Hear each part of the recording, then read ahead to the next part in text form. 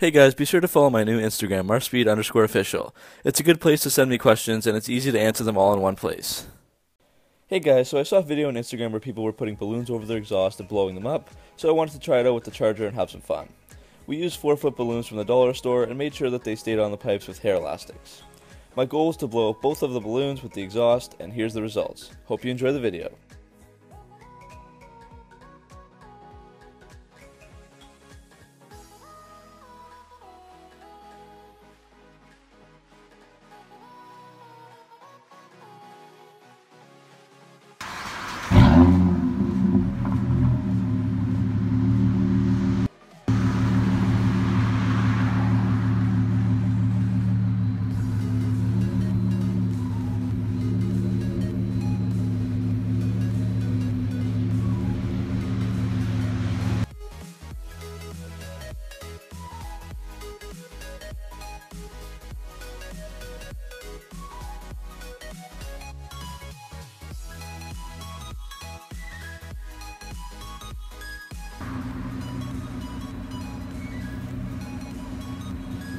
Should we move it that way?